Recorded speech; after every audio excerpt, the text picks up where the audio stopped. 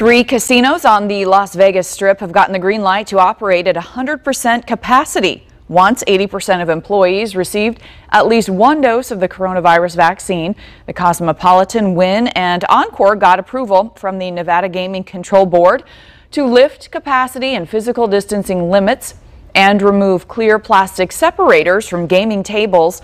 Lawmakers plan to allow 100% occupancy at restaurants, stores, and other businesses as well once 60% of the eligible public gets at least one shot.